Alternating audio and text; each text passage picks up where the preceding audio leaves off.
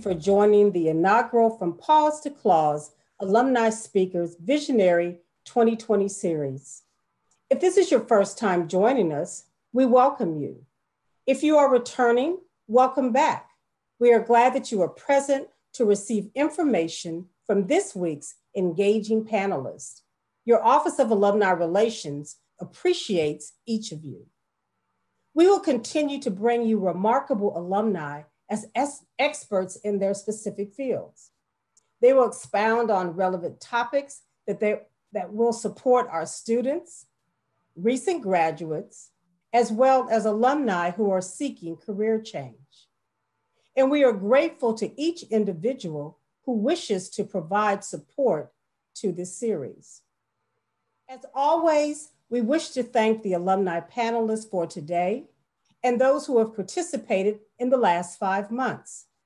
We did not seek you out, yet you came with the spirit of a mighty panther, which we are, sharing your knowledge base when the call to participate went forth. This is our newest series of From Paws to Claws, and we are still dedicating it to the Perfect Vision class of 2020 as they exercise their ability to be visionaries.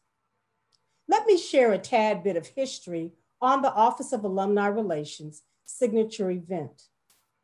The Alumni Student Networking event, titled From Paws to Claws, was originally designed in 2008 when Kareem Taylor, class of 2010, in his sophomore year, expressed the need for students to engage and learn from our alumni of this one exceptional university. Over the years, we continuously call on the alumni community to embrace our alumni in waiting, commonly known as students. We encircle them until they become a member of our alma mater.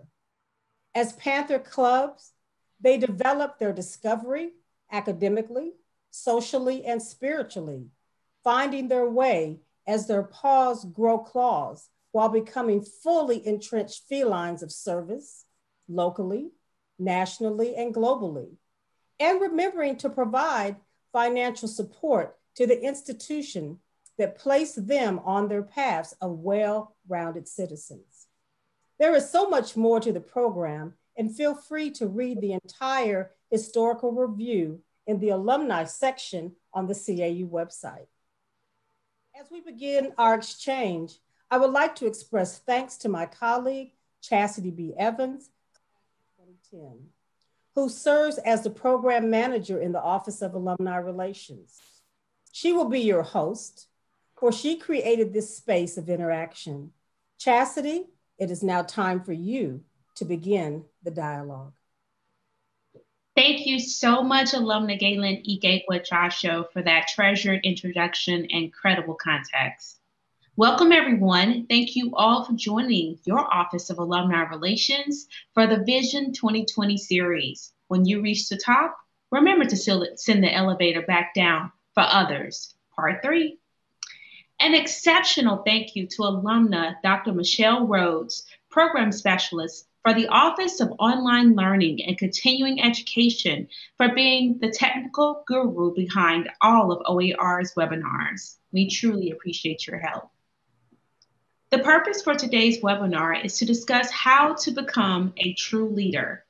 There is a phrase in the entrepreneurial world called paying it forward. The notion that all of us who have had some degree of success will likely have had individuals give us that break they believed in us when we had not yet earned such trust, and from whom opportunities came that have helped create our success. The credo is simply this when you get to the top of your ladder of success, help someone else pay it forward. Or when you get to the top floor, don't forget to send the elevator back down for someone else. Join us as we discuss one of the most important things to do in our careers help others' dreams become a reality. It's a privilege and an obligation to support others in achieving their desired success. The newest arrivals will appreciate it, and you'll leave the world better than you found it. Just a little housekeeping before we get started. If you have any questions during the presentation, please type them into the Q&A panel and our Zoom control panel. I will bring them up to you all during our Q&A section to discuss. Now, without further ado, introducing our first panelist for this afternoon is alumnus Al B. Reed.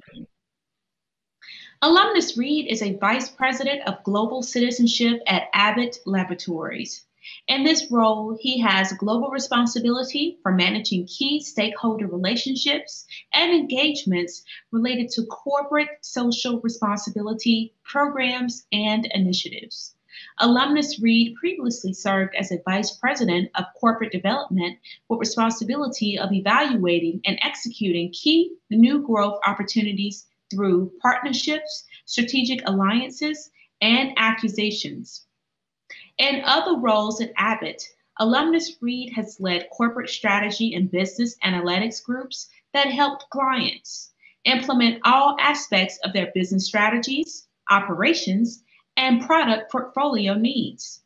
Before joining Abbott, Alumnus Reed was the Vice President of Strategy and Development at Baxter Healthcare with global responsibility for strategy development, capability enhancement, and financial growth. Previously, Alumnus Reed also held positions of increasing responsibility at Dun and Bradstreet, Paramount Communications, and the Federal Reserve Bank in M&A finance, treasury, and management counseling. Alumnus Reed completed his BA in communications at Clark College in 1983 and his MS in management at Carnegie Mellon University. His honors include UNCF Outstanding Alumnus Award, Chicago United Business Leaders of Color, and the, Tom, the Thomas W. Cole Jr. Legacy Award. Alumnus Reed serves on the boards of CAU as a trustee, the History Makers, CAU Golf District Association Board of Governors, and the Advocates Pro Golf Association. He is also a member of the Executive Leadership Council. Alumnus Reed and his wife, Sherry, Clark College class of 1985, live in Northbrook, Illinois, and have two adult children. Welcome, Alumnus Reed or Trustee Reed. How are you doing today? Well, thank you very much, Chastity, for that uh, introduction. Um, all is well here in Chicago. It's time to pull out our hats and gloves. So it's a little chilly, unlike uh, the stormy weather you're experiencing in, in the Atlanta area. But thank oh, you. Yeah. No problem. And thank you always for continuing to support your alma mater. We truly appreciate you. So we're going to go ahead and dive into your first question for this afternoon. Towards the end of the Amazon entrepreneurial uh, session this past month, a concerned voice in the audience asked, how do those over 30 years stay relevant? In a world where digital natives increasingly have an upper hand, this was a fair question and one which many senior leaders likely worry about. As the DVP of Corporate Development at Abbott Laboratories in Illinois, do you sense that we should develop a growth mindset, embrace what we don't know, and seek out a reverse mentorship opportunity build transferable skills or don't work for a traditional company. If you do, get out and find a brand who incorporates the values you have. What's your opinions on this? Well, uh, thank you for the question. But first of all, you know, Tiffany, I think it's important that we all must understand our past, our present, and the future uh, mm-hmm. as part of our career uh, continuous arc. And by that, I mean, what will make, there will be different things that will make us successful at each junction. Uh, so therefore, it's kind of critical that we pay attention uh, and respond to some of the societal changes that we're all witnessing in front of us. You know, for example, you know, the coronavirus pandemic has caused a great amount of disruption in the marketplace as well as with overall business dynamics. And so as a result, we've all been forced to become shrewder adopters of technology, whether they are to, uh, Zoom or TikTok or, or, or other things. But I think by embracing these various technological platforms, we've all uh, have to make certain that we lose our ability to, we haven't lost our ability, uh, I might say, to fulfill some of our professional responsibilities be it engaging with our business clients and family, ordering food, toiletries, or clothing, all in ways that we really didn't think about in the past. And so as a result, what it means is this translates into developing a global mindset, meaning that we all have to seek to become uh, more thoughtful leaders in the fields that we chose, uh, learn to improvise and innovate on our core strengths, and then more importantly, seek partnerships and perspectives from outside of our various groups. Uh, because at the end of the day, we, uh, it's, it's imperative that we remain true to our core values. Uh, and, and, and, and by saying that, you know, historically, as people of color, you know, the things that have gotten us from where we are, where we are today have been, you know, our fortitude and our faith. Mm-hmm. Most definitely. I wholeheartedly agree on that. So, an interesting discussion uh, point between the Coca Cola brand, company brand refresh team, centered on how the environment impacts the outcome. Uh, for example, having an experienced C suite team meet with a group of senior customers will lead to a predictable outcome. So, granted, that outcome can be a great one, but put a razor sharp, young and inexperienced rising star from the business in the room, and the conversation is likely to be different as the stimulus has changed. What would you change about how you approach meetings, hybrid lifestyles, and global careers? Well, I think regardless of where you are in your career, we must remember the five P's. And, and I think we've heard them before. You know, proper preparation prevents poor performance. So there is no substitute for being ready when the spotlight is shining on you. So as future global leaders, it's critical that we stay abreast of the changing customer needs. You know, uh, a CEO of a global PR firm said that customers are human beings. So when human beings evolve, you have to evolve with them. So mm-hmm. hence, I think in everything we do, we must be able to adapt to changes occurring around us. You know, we have to pursue our aspirations over anxieties you know, we, we, we, we all become very vulnerable when we rest on our laurels. You know, no one cares about what you did in the past, but we also must not, uh, we must avoid trying to constantly reinvent ourselves because at the end of the day, relevance means being relentless about innovating on your core strategies. So, you know, as companies uh, have globalized and automated over the past decades, the competition for talent is particularly in the STEM and business analytic fields, it is imperative that you know all of our students and alumni focus on creating outstanding performance through their individual thought leadership. So you know we talked about making certain that we remain current uh, within our industry. You know we have to make it necessary, uh, continue to uh, have the necessary, receive the necessary training, uh, and, and then not be afraid to seek out high-profile projects because this is the way you know you uh, will ensure that you get the visibility uh, that's mm-hmm. necessary. And then finally, you know, regardless of where you are, what you're doing, we have to deliver you know tangible results that are important to the company's top and bottom line.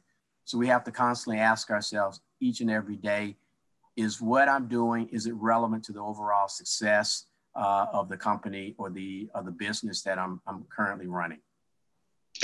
I love that. So tangible results is it relevant? Creating outstanding performance in leadership understanding the five p's and improving and adapting to the current changes around us. So those are some really good points that i feel like not only myself but our attendees could definitely take back today and you know understand especially in this hybrid relationship that we're undergoing now because it's a new normal for all of us you know yes. not just people that have been in leadership for 20 plus years 30 40 you know it's even people that's been in leadership for five you know or two or just starting out. So everything is new. So it's like we all kind of have a clean slate to where we can evolve and execute together. So Thank you so much for that, Alumnus Reed. We really appreciate that. If you all have any questions for Alumnus Reed, please type them into the Q&A box in your Zoom control panel now, and we'll be sure to get to them during our Q&A session. Thank you again, Alumnus Reed. We really appreciate you. Please stay warm up there, okay? Because it's still kind of warm down here. Introducing our next panelist for this afternoon is alumna Shalana Melton. Alumna Melton is a senior product um, adoption expert at McKinsey. She has a proven track record as a creative, inspiring, and forward thinking leader. She guides cross functional teams to create customer centric products and services that serve their clients' needs in unique ways. Alumna Melton is responsible for driving overall product adoption and impactful insights based content that address customer pain points with product value creativity. Before joining McKinsey in 2019, Alumna Melton held a number of positions at American Express. She developed comprehensive marketing strategies and executed plans that drove company revenue, built brand equity, and created loyal customers.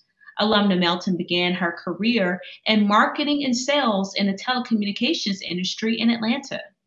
Alumna Melton is a customer centric and innovative marketer who has consistently delivered results by crafting compelling strategic visions and messaging, building capabilities, and driving execution. She is a passionate leader who drives who, who thrives on building, developing, and nurturing future leaders.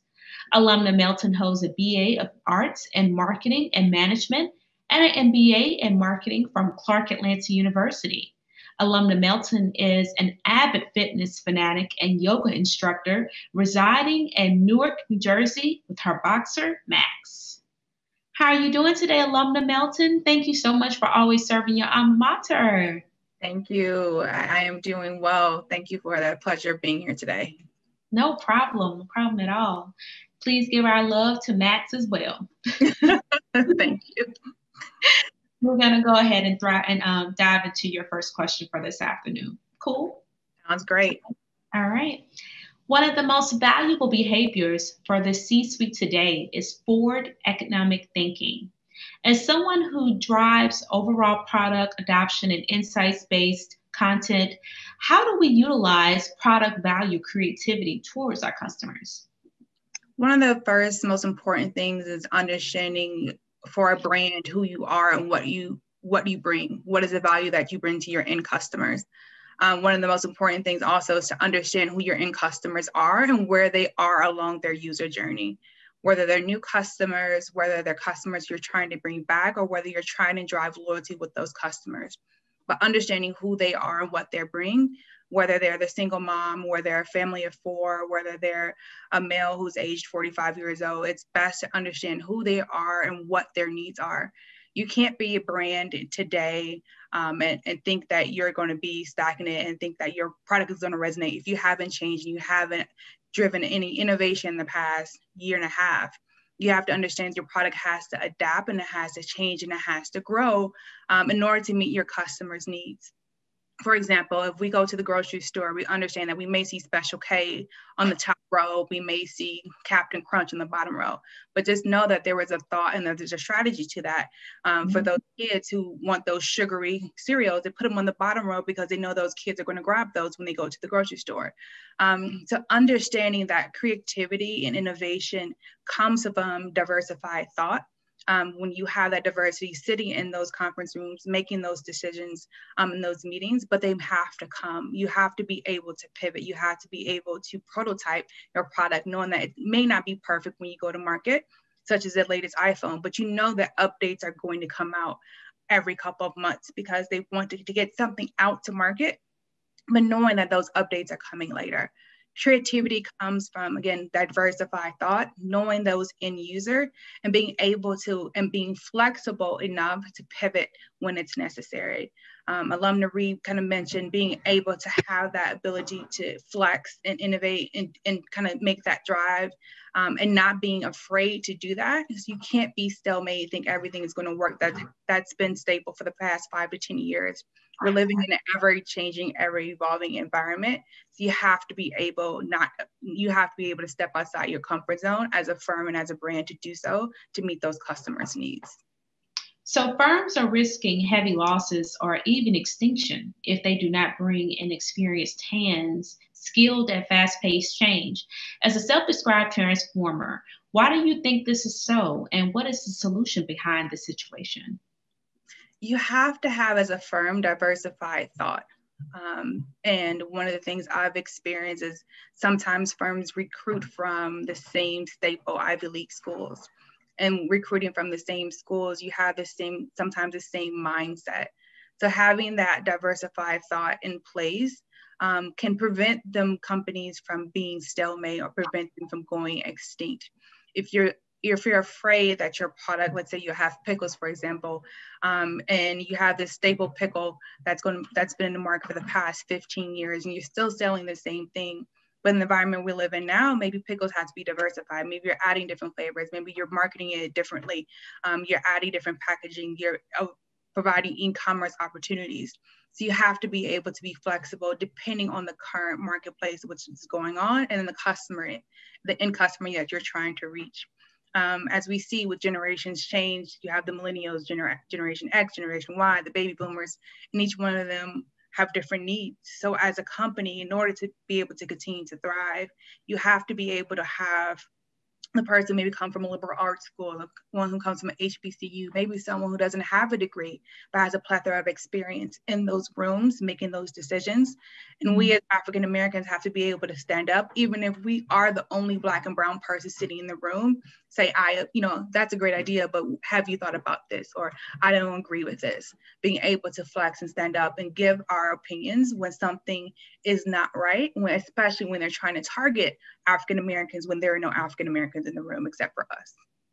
Got it, got it. So being sure to um, be flexible at all times and all about driving innovation, pivoting when necessary, and understanding who you are and what you're bringing to the table, at least what your customers are, you know, who your customers are and what their needs are. So those are some really helpful tips that definitely takeaways from alumna Melton. If you all are on the call today, to definitely understand, especially in her area of C-suite. So thank you so much, alumna Melton. We truly appreciate the essential tips today and the materials.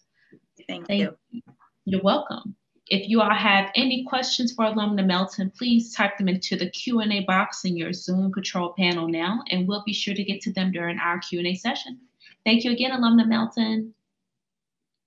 Introducing our next panelist for this afternoon is alumnus Ted Jackson.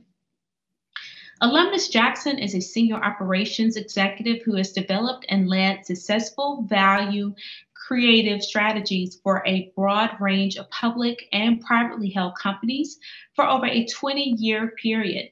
Extensive involvement in leading performance improvement programs to achieve dramatic improvements in margin growth, cash flow, and shareholder value through a variety of profiting pricing, working capital, supply chain strategy, manufacturing productivity and distribution programs across the US, Canada, Mexico, Europe, and Asia. Alumnus Jackson has is a transformational leader that who leads and finds strategic solutions to operationally complex situations requiring creative cross-functional team building, organizational leadership, and data-driven focused execution. Woo, that is a lot. Thank you so much, Alumnus Jackson, for joining us today. And we truly appreciate you for always serving your alma mater and for always giving us a shout out on LinkedIn. We truly appreciate you for everything. How are you doing today?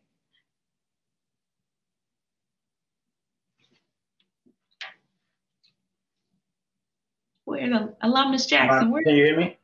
Yeah, we can hear okay, you. Okay, great. Yeah, thank you. It's a pleasure to be here. Appreciate no, the opportunity. No problem. We thank you for accepting the opportunity.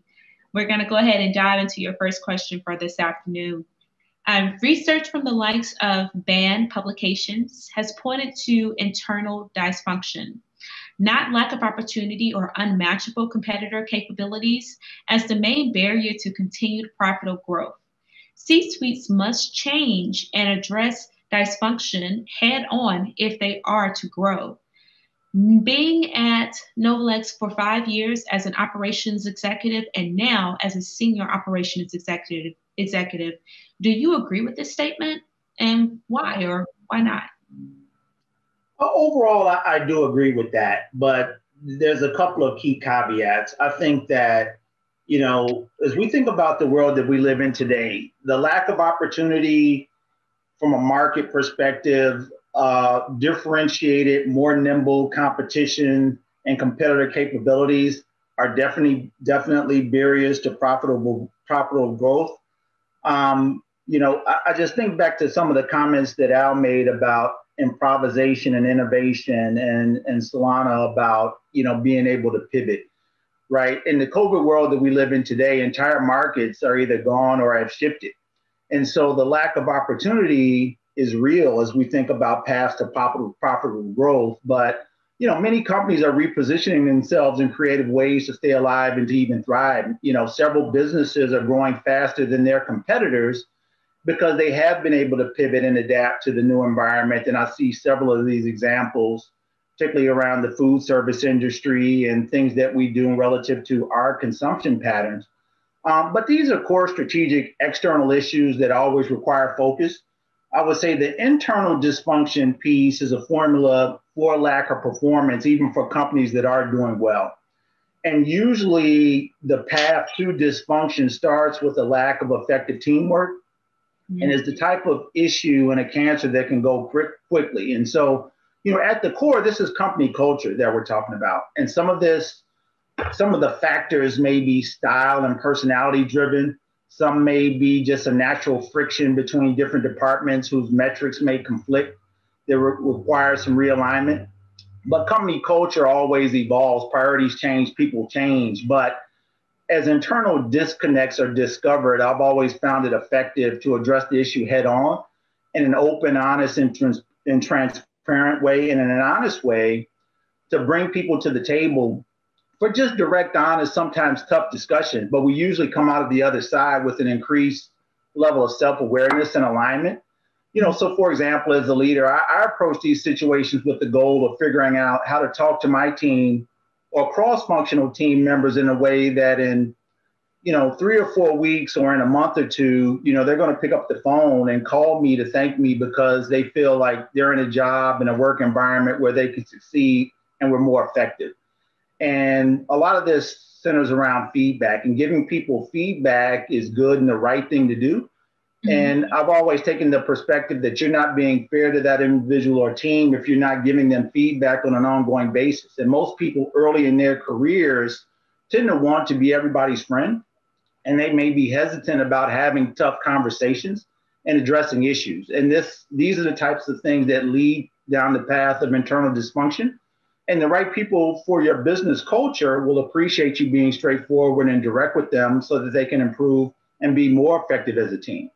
You know and my personal challenge is you know how do i continue to do this? How do i continue to sustain the excitement the commitment and the energy um, leading in an environment that's so different than where we were just nine months ago? You know i'm accustomed to spending time with my team traveling and being in front of in front of people and and and, and really having a lot of uh, interaction in person with my leadership team.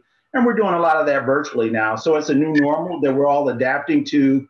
But you know the approach and the in the spirit of addressing head issues head on to to head off that internal dysfunction is still the same same awesome okay well we're beginning to see c-level executives who have uh, more in common with their executive peers than they do with the people and the functions they run how important is it for members of senior management to not only support the CEO on business strategies, but also to offer their own insights and contribute um, to key decisions? In other words, understand how to operate their position as well.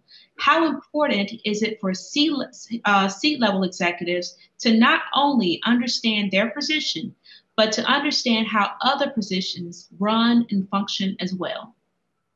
Yeah, I, I think that this is a critical skill set. And one of the comments earlier was diversity of thought. And so this is a critical skill gap for executives and business leaders that don't understand how other positions and departments around them function. You know, in, in some regard, this could be called, you know, siloed mentality or just the, the impact of, of, of a lack of diversity. But it, it all comes down to is that we have different teams or different team members in the same business that either are not aware or purposely don't share valuable information with other members of the company. And what ends up happening is that this hurts the unified vision of the business and defers long term goals and value creation from being accomplished. right? And lack of value creation usually become comes from unnecessarily unnecessary, misaligned, or duplicated work, all of which prevents agility, adaptability, being able to pivot. And in this world and, and how rapidly markets are changing and so forth, that's extremely critical. And so having a slow organization, um, you know, just results in poor decision making because you don't have the uh, the total picture, and it's just very very risky. So, from my view, siloed models of leadership, kind of top down, transactional, lack of diversified thought, they don't really truly leverage the full perspective of the company and the resources. Working as a team, it, it will just really prove to be very, very inadequate to meet the pace of change in today's COVID world. You know, as I mentioned, we're, we're in an entirely different world than in Q1. And the, the challenge is that the pace of change in the world will continue to accelerate. And, you know, for example, at Novolex, you know, we, we really focused on breaking down silos, increasing cross-functional communications. And from a culture standpoint, we've done this a few ways. Obviously, you know, putting people first. How do we manage our marketplace? How do we make sure that we're servicing demand as an essential business, that we're planning the right products, aligning our human capital, manufacturing capacity, and supply chain when we aren't really sure of what's next, right? There's no way to do that without a cross functional perspective, right? And then as we think about navigating that path, what parts of our strategy do we pause? You know, what parts do we continue to invest in knowing that we're in an uneven situation, right? So making the best decision, you know, requires some inclusivity and diversity of thought amongst all teams and leadership that understands and facilitates you know, this sort of cross-functional planning and execution will be more successful. I mean, there's always more to work to do here.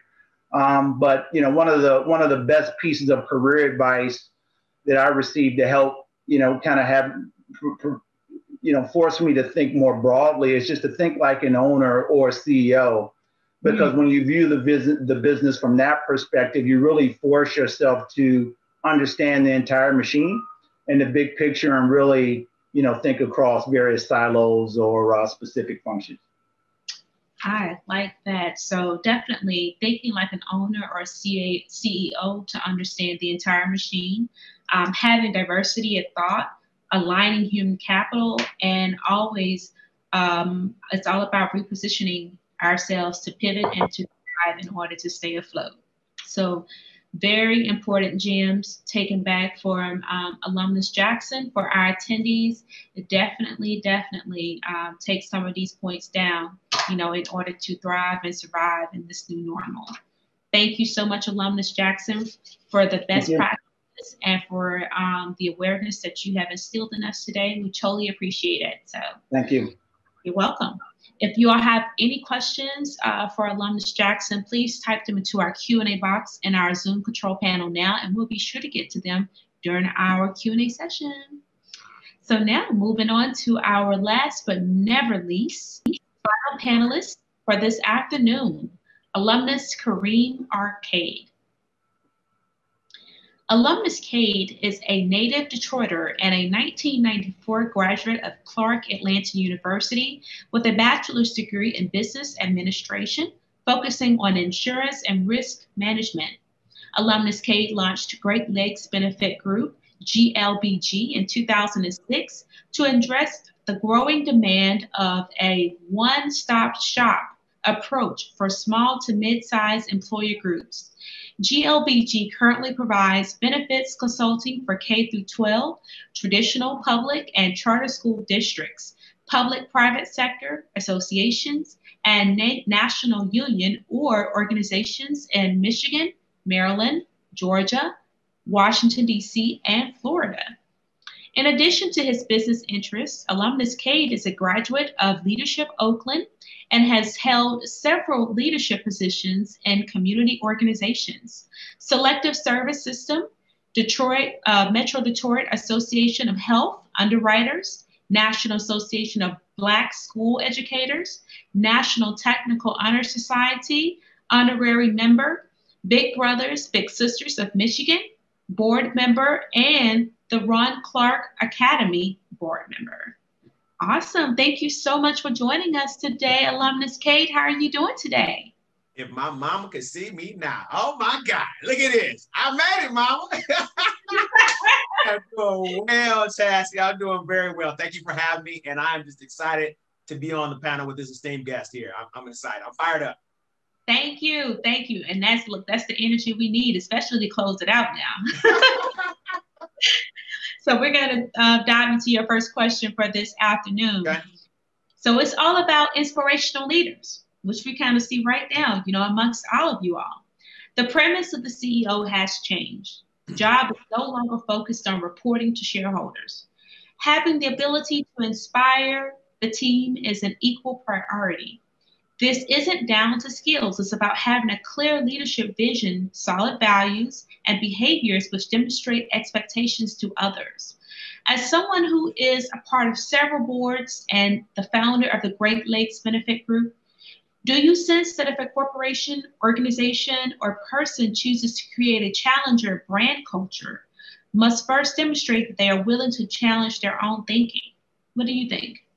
Oh, absolutely. And so uh, I have a motto in my office that simply says that I'm uncomfortable being comfortable, right? And so anytime that I find myself getting comfortable, I know that I'm behind the eight ball. I can recall when starting the business uh, that uh, uh my grandfather early on told me, you know what, while you're sleeping, everyone else is thinking. And so you got to constantly be evolving. And so when I look at uh, CEOs and leaders that are in that space, uh, I never wanted to be painted into a box. First of all, as an African American business owner, specifically in the area of risk management of insurance, guess what? There's just not anybody like me in the room. I'm always the only one in the room having that conversation, having to defend uh, uh, why I'm in the room. And so, because of that, I make sure that my vision is always looking outside of the box. You can't ever paint me. So, I've always been a kid that never colored inside the lines, right? And so, I had to, I tell people all the time that I had to be an entrepreneur because I don't know that I would follow rules well. And so, because that is the issue, I think for me, it's always been about how are we outthinking our competition? What are they doing? How can we do something different than what, what they're doing? But more importantly, how do I still do it in my same vernacular? For so long, I spent time with the, the code switching and trying to fit in and assimilate to what people were doing in their own organizations. And I finally had to realize that, you know what? I embrace what Clark Atlanta gave to me. I embrace who I am as an African American man. And I'm going to step up to the table and say, I do see it differently than you do. And I love, I think alumna Melton said, you know, you can't talk about you're going to market to black folks and then you don't have anybody at the table that looks like us. So exactly. I think when we start talking about those types of things, I'm so passionate about the, when I saw this topic of sending the elevator down, I've always been riding on the elevator and sending it back down, right? I've been riding on it since the folks in, in Clark. There's probably some of them on the line right now Dr. Brody, LaQuinta Jacob spoke for you before. I had four yes. sisters that helped me ride the elevator up to finish out Clark because I was partying the entire time. So I fully embodied find a way or make one. I had to make one because nobody was offering me anything. And so when you come with that kind of grit, when you come with that type of motivation from the beginning, you're always having to evolve and never stay stagnant was there. I remember Chastity that I had someone tell me years ago that the A students teach the B students how to work for the C students. And so I've been a C student all my damn life, right? And so I had to always be around smart people. I had to be around people who would challenge my thinking. I had to be around people that would t- give me different vantage points. And so that has allowed us to continue to grow the business to the locations that we're in today. And we started this out from scratch. I started out, I didn't have a rich uncle, I didn't have great parents that gave me a bunch of money. I started and just continued to reinvest and reinvest more dollars. And every dollar we got, he put it back into the business. I didn't have a business loan. I didn't have any of those other things as a business owner. So it's always been based upon we've got to go out and think differently about how we approach this. And my team understands that there's nothing that I don't ask them to do that I'm not willing to do. So I'm on the front line all of the time with whatever has to happen. And when you're a small business owner, everybody thinks it's glamorous. And I can tell you what, it looks glamorous, but I'm always reminding folks that I'm like the duck on the top of the water. It looks real smooth, but my feet up under there just going. happen the whole time. I make it look real smooth though. I make it look real smooth. But behind the scenes, we're trying to figure out all the pieces because I don't have a large organization behind me. I am the organization. And so my final thought on that, on that question that you asked is that we realize I, I, I, joke with my guys and say we're like this little Smurf band. So in our office, there's 10 of us, right? But we looked at business models that were very effective in that, and we had to make sure that everybody was in their places in order to make that work. Jim Collins, good to great, right? You got to be in the right place on the bus, right? And, and putting people in the right position. And so from thinking about looking at the culture, thinking about looking at vision, I had to always stay in front of them and bring them back to that. And obviously in COVID, I had to do the exact same thing. And so I think that the important piece for CEOs is that if you're not looking at that vision and constantly changing and you get comfortable, the competition is on your heels and they're looking to take you out. And for us, our competition are all the larger houses, the Aons, the Willises, all of these large companies that can bury us at any point in time. So we've got to be great in order to be superior and fight against those guys. Oh, I wholeheartedly agree on that. And I can say you all are doing an amazing job and you have an awesome team. I mean, I promise you, I, spoke, I spoke to one of your team members, Miss Hawkins, I believe, every single day. And we are always uh, end up talking about something else because she's an awesome person. She's, she's a great it's a dream. You got to make it all work. It's business dream. Exactly. Yeah. and you definitely you need people like that to you know to keep the engine running. You know, yes. so thank goodness that you have people behind you that are there to support you. So yes. and and we're there to rooting you Absolutely. on. So flourishing the, the C-suite executives build collaborative um, interdepartmental teams that achieve goals without vying for credit and praise. How do you inspire your cross-functional teams to meet their objectives while providing opportunities for individualized growth? Well, I'll tell you, Chas, that's that's a phenomenal question. And so we adopted a principle, and I'm not sure how familiar you are with uh, the Notre Dame Fighting Irish team. And so they have a, a, policy that they don't put anybody's name on the back of a jersey in football, right?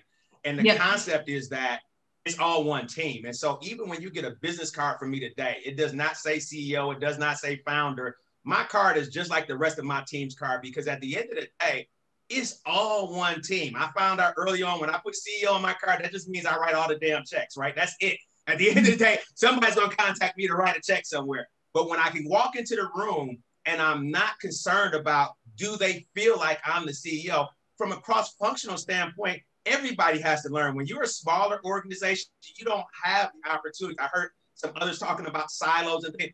We don't have that. We're small, so everybody has to know what everybody's job is because if one person's catch cold, we've got pneumonia as an organization, and so we cannot have that, right? So before us, we have to make sure that everybody understands each piece of what goes on in the organization. I don't expect you to do my role 100%, but part of that is that when you come into our organization, I'm telling you up front, this is what we expect of you. Everybody plays like a CEO. You every, and I think the last brother Ted said that every, you got to think like a CEO. If you're going to sit in this seat, you got to think like, what are we thinking about this? It can't just be about me. And then your other question, you talked about our shareholders.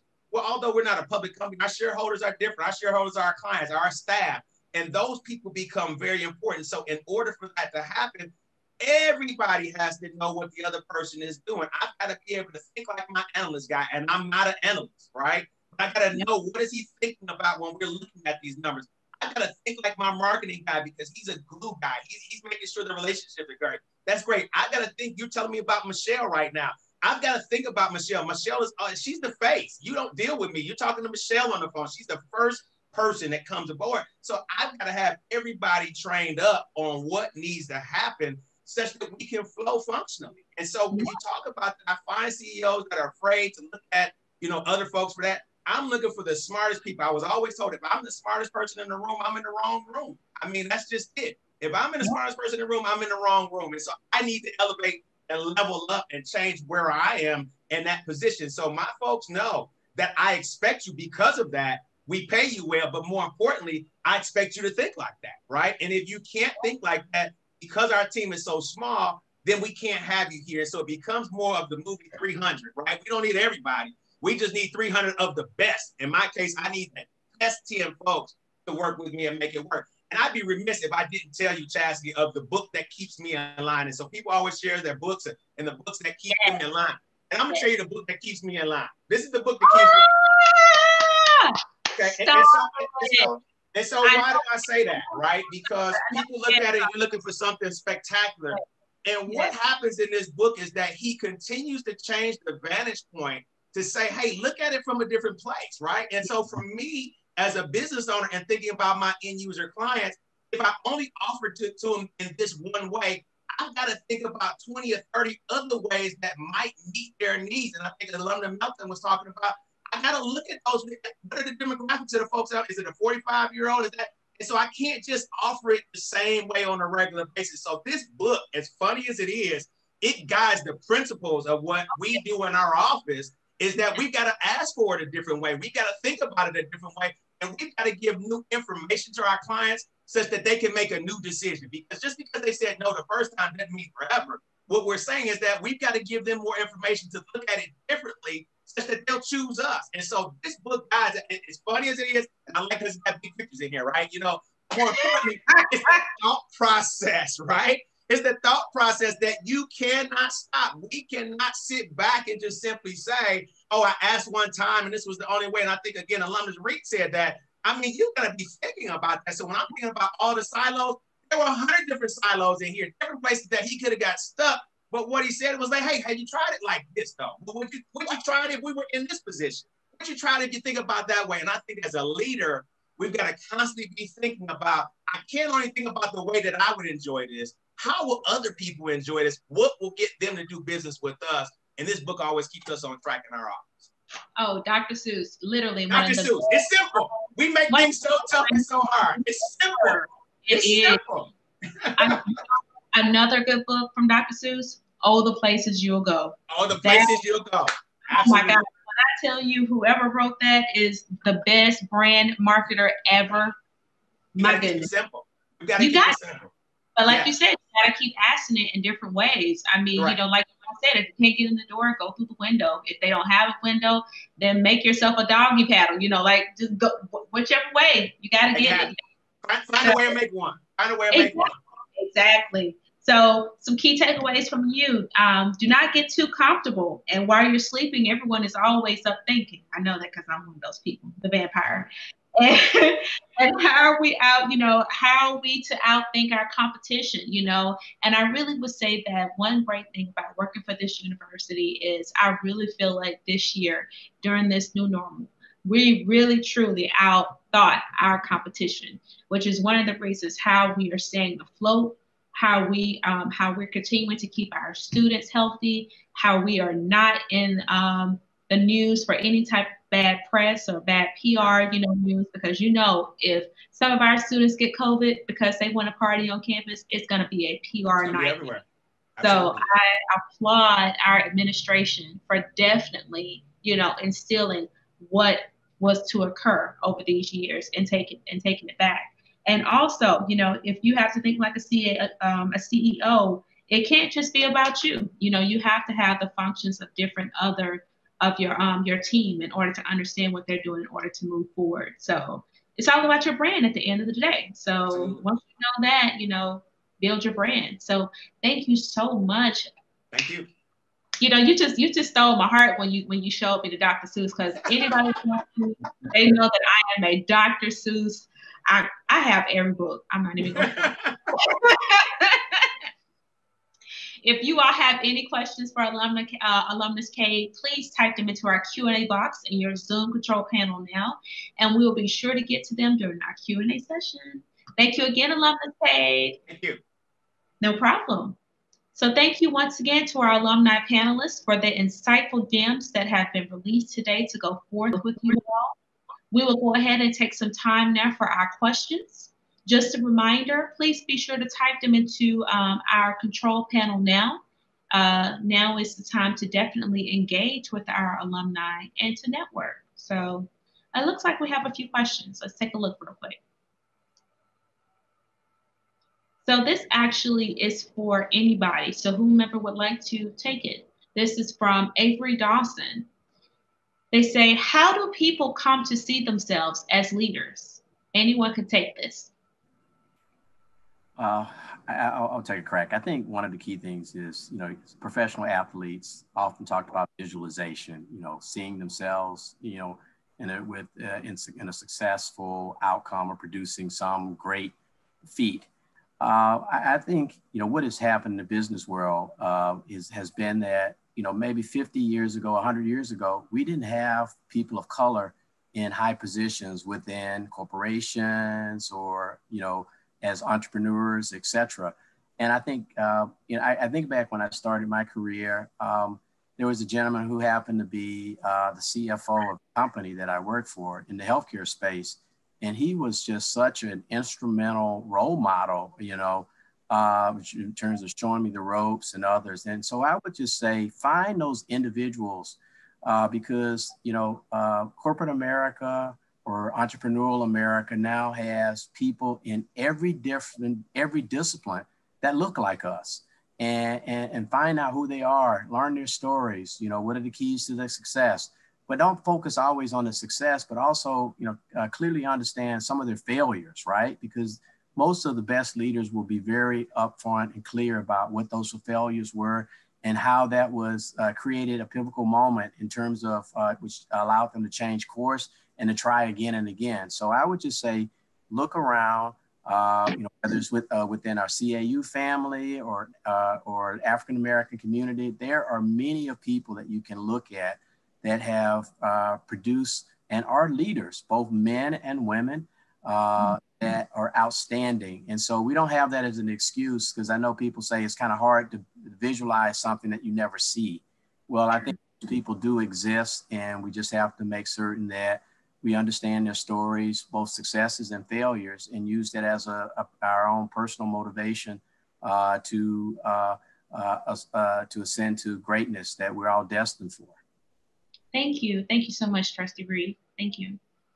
Uh, the next question is for anyone that would like to take it. Uh, this one is from alumnus David Carnegie. He says, how do you convince white men that D&L initiatives need their support? This is for anyone that would like to take the, the question. Was that, was that DNI or DN, DNL? You talking about diversity and inclusion? Uh, yeah, DNI. I'm so sorry. Yeah, diversity and okay. inclusion. Yeah. I'll, I'll take a stab at this one. I mean, for me, you know, uh, business is very, very personal, right? So this is this is a relationship oriented type of transaction in terms of we think about white business leadership and their ability to understand the value that we would create as being a part of the overall equation, right? Um, so to me, I focused on two things. Number one is just the value that I bring to the table, right? So, you know, questions around an internal view first before the external question of what do they see.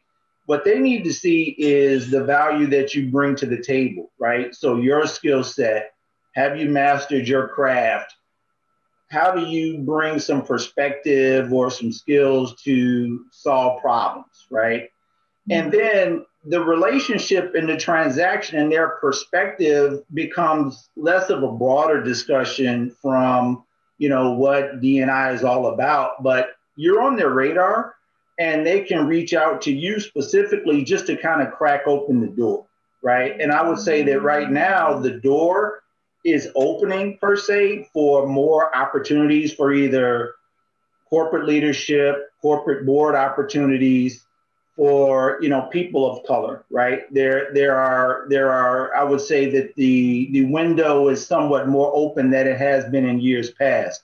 But it still comes down to your ability to be perceived as someone that can bring value to a situation. So you think about your personal brand, your skill set, and then your personal relationships, right? To have those one on one conversations, right? To ultimately convey the value that you can bring to the table. Those are the things that kind of come into play when you think about being able to convince somebody that DNI is the right path or something that will, you know, be the right thing to do. It's not charity, right? I mean, these are very, very serious business people with, you know, some challenging objectives and goals to meet, right? And I think that the more that you can kind of weave yourself into how you fit into the solution for that, just so happens that you're African American and you have the relationships to parlay the right conversations.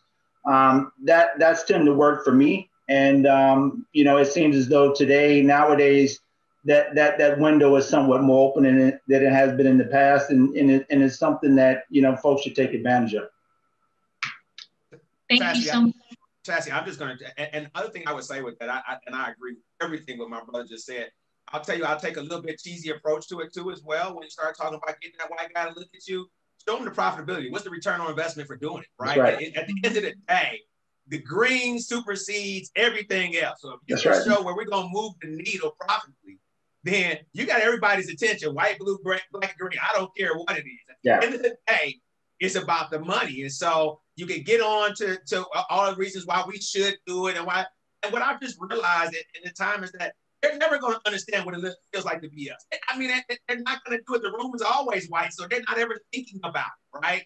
But when we start talking about showing the numbers and show me the money, and you can show, hey, if we move this and tweak this, and we got this segment of population, this is yeah. different because we implemented this strategy. You got all ears. That's just what I found is that you got all ears when you when you can start talking about the profitability side. I agree. I agree. Thank you so much, alumnus Jackson and alumnus Cade. Thank you. Um, next question is from alumnus Devin White. He says, How do you define success? And this is for anyone that would like to answer. I can jump in. Um, I think success is different for everyone. Um, you, you, think about it across different firms and across different brands. Someone may look at success as the number of things sold, sales, generated revenue. Someone else may look at, from a nonprofit standpoint, how many lives are impacted. I think as an individual, when you're at a, a corporation, um, you think about success. You, you need to think first internally. What does success look like, look like to you? How do you define yourself as a leader? And what are your ultimate goals? And sometimes it's not all about getting the next position or getting the next title. Maybe it's certain, certain areas you want to grow personally and professionally. Maybe it's learning, acquiring different skills. Maybe it's getting a different certificate. Maybe it's networking growing your personal executive brand. I think when a person thinks about success you can't compare your success next to someone else's because you you're not on the same path. You're not parallel pathing here. So i think when you, you think about success and when you sit down and, and write down your own personal goals um, what does success look like to you? Whether you want to become a leader or a people leader or whether you just want to grow within the company you work for you're setting down goals whether it's every three six and nine months you think about quarterly goals or yearly goals um, I think first that internal reflection and then having that conversation, whether it's with a mentor, or whether it's a coach, or whether with a sponsor to help you achieve those goals and help you stay on track so that you can reach your own definition of success. Yeah, and, and I like to add, I like to add on that. I think one of the failures I've seen in business is oftentimes people uh, develop the best strategies in the world, but at the end of the day, they, they do a poor job defining what's a successful outcome. And I think you have to always think about and define clearly what success looks like, because I think that in itself serves as a great tool to motivate your team to make certain that everyone clearly understand why uh, there's an individual con- contributor or a supporter or an outside vendor, whatever, knows what the bottom line looks like in terms of driving an outcome that everyone clearly understands. Because you know, even the best strategy sometimes, you know, leads to disastrous uh, uh, outcomes because they've been clearly defined uh, around what outcome uh, certainly is the one that the organization or the company is uh, seeking to produce. Okay. Thank you so much, Alumna Melton and Trustee Reed. Uh, we did have uh, one more question, well, two more questions actually. I would definitely send those to you all after um, the webinar because we want to be uh, respectful of, of, everyone's time and it is approximately 101 p.m. So we will be sure to um, get those questions answered uh, to the attendees that asked them and um, get those back to you, okay? So thank you all for all the questions. Please stay in contact with our alumni and look out for our upcoming webinars, which would take place every uh, Thursday, well, every other Thursday starting in November, rotating from noon to 1 p.m. and from 6 p.m. until 7 p.m. We have two more webinars left for the end of the year, so please be sure to tune in and to uh, support. Great. Thank you, everyone. We appreciate you being here. Special thanks to my colleagues, Senior Director of Alumni Relations, Mrs. Galen E. Gatewood Josho, and to Dr. Rhodes for their stellar service, and to our panelists for a remarkable job today. And always a special thank you to our attendees for definitely joining us supporting us, and for being here for us. Thanks again for joining us, and we'll see you all next week. Look out for more information regarding our webinar and alumni news by following us on social at CAU Office of Alumni Relations. Catch us on Facebook and Instagram, LinkedIn, and Twitter, or visit our website at www.cau.edu. Just click on the Alumni tab at the right hand corner of the site. Thank you so much, and you all have a great weekend.